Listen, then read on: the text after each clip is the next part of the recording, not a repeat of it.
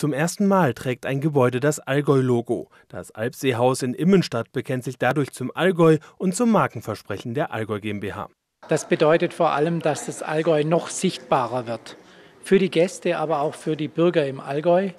Und damit bewusst wird, dass überall Allgäu ist. Hört sich jetzt vielleicht im ersten Moment komisch an, aber dieses Bewusstsein zu schaffen, dass auch Immenstadt Allgäu ist, dass der Naturpark Allgäu ist, dass das Naturparkhaus Allgäu ist und für die Werte des Allgäus, nämlich die Nachhaltigkeit und gleichzeitig die Zukunftsfähigkeit steht.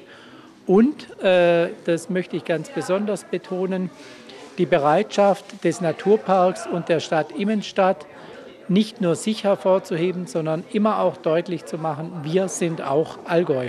Für die Zukunft wünscht sich Klaus Fischer noch mehr Partner, die für die Marke Allgäu stehen und ihre Werte widerspiegeln.